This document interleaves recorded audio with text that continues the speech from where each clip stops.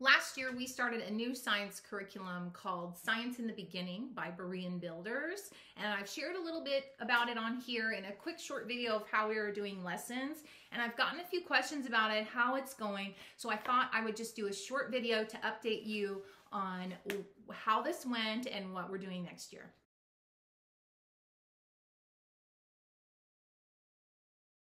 I think the first thing I need to do is confess that science is probably the subject I am not the best at, which is sad because I used to be a science teacher.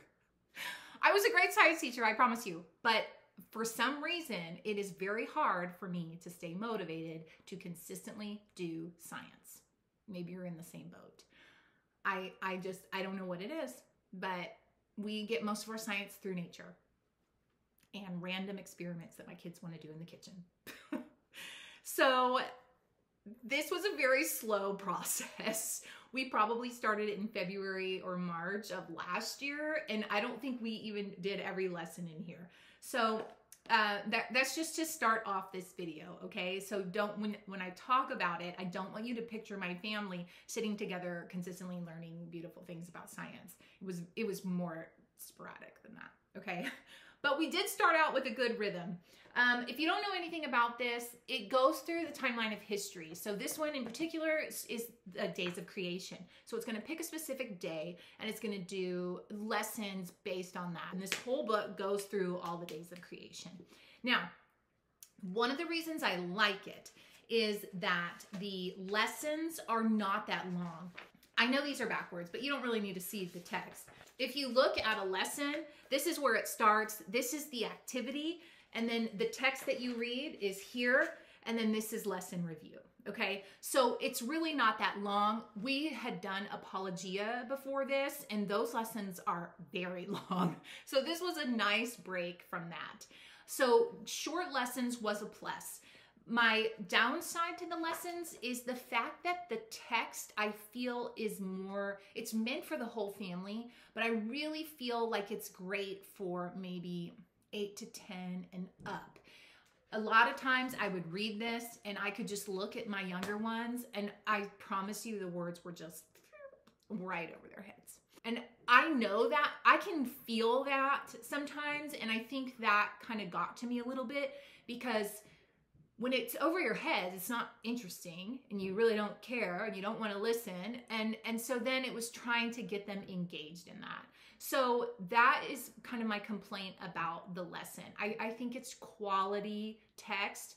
I love that he can give you so much in a short amount of time but when you have little ones it's harder to connect with them.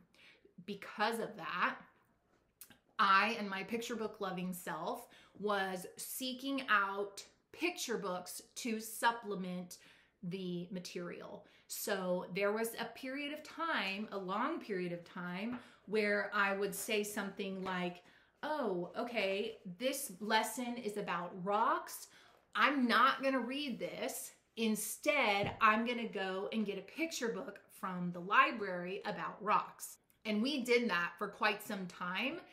It was fantastic. I loved it because this guided me on the books that we needed. But I even have a list, a, blog post where I share an entire unit's worth of picture books. And I get so many messages about people wanting more picture books. But I'm going to tell you, I, I, I don't have any more and I'm so sorry. And I'll tell you why in a second. But if you, if you that was really lovely when we supplemented with picture books because I could do the activity and then instead of reading the text that was going over your head, we could read a picture book with it. So if if that is a comfortable thing for you, if you enjoy doing that, I think maybe this might be a good fit because there is an activity every single day. Every single lesson there is something. And a lot of it is stuff that you can do around your house. There are some lessons where there the entire lesson was based off the activity. So you really have to be careful of which ones you choose to do and not to do. It got to the point where if I didn't have the stuff to do the activity, or if I couldn't find a picture book to talk about what the content was, then we would just skip the lesson and we would move on. And that's why I don't have any more picture book lists. So I'm so sorry for those of you that really find that good. But we just skipped the lesson and it, and it was fine. And I don't think that anybody want. Uh, so I have a picture book list, but it's incomplete. It's just the ones that we actually did. Um, so as you can see, there was just kind of some holes, but I, I honestly think it's not the fault of the text. It's the fault of me. I'm just not a fan of textbooks. And you can see that you can watch any one of my videos and I'm constantly bringing in picture books to our subjects because that's what we enjoy. When we did that with this text, I thoroughly enjoyed that, but it is difficult to seek them out on your own. I mean, you really have to be on it. And I was working on so many other subjects bringing in picture books that that got a little bit exhausting to do it for more than two or three subjects. So overall, I really liked it because if ever we didn't do science for a little bit, which we that happened often, I knew I could just pull it out and be like, okay, let's just do a lesson. And it wasn't overwhelming. It, and it never felt like, oh, we we it's been so long since we've done it like it was really easy to just jump right back in so that was great and like i said the activities you have to make sure that the, he's not going to refer to it but some of them you don't always have to do last thing i want to share is the way that we kind of kept record a little bit for this. This is, I think, what my video is on this, but we did little notebook pages. At the end of his lessons, he has this review section where there is some questions. You could definitely just have them do that in a notebook. We more just discussed that. The way my kids kept a notebook is if we did an activity, then I had them draw a picture of the activity and then label it or write about write something about it. You know, I just kind of challenge them each at their own level. Write two sentences about it or tell give me some words to tell me what that is. Or if they didn't know what to say, I'd pick the bold word in here and say, tell me what that word means. So that's kind of how we did keep a record and and that was really easy to do. So you didn't need a workbook or fill in the blanks or anything like that. That was something very simple. Unfortunately we're not going to be continuing this because we're actually joining a co-op next year and we're going to be following their science choice. You know would i have continued it? I don't know. Um i really don't know. But next year we'll be trying something else and that's just because we're following. So if you see this i won't be doing this again but it's not because it was bad. It's because we're just joining um, another group that's doing something different. So if somebody asked me would you recommend this? I would say yes but you need to pay attention to those couple of things. Number one the text and the age of your children.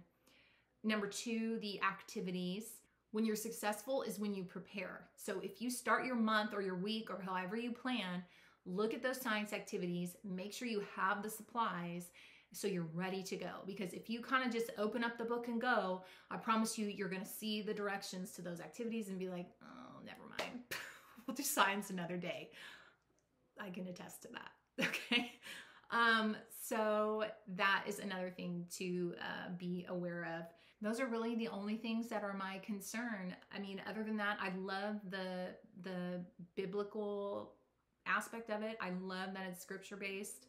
That was that brought some really good conversations between me and my kids, between my kids and me. And I I love the length of the lessons. Like I said, if I ever forgot to do science for a while, which I did, then it was just so easy to pick up and keep going. You just kind of have to figure out your style and what you like and what you think would be the best. If you, you know, I'm all about simple. I would say this is simple. I really would because it's the same thing every day. A, a lesson, some review questions, and an activity you can do in your house. And, and there are many that you can do with supplies you probably already have, but there are some that you, you probably would need something else. If I would go on their website and see if they had a kit with all the supplies, they might. If so, that would probably be worth it to keep you uh, making sure that you do the stuff. So, okay, I hope that was helpful. I, I wanted it to be quick, but I tend to chat. All right, if you have questions, let me know.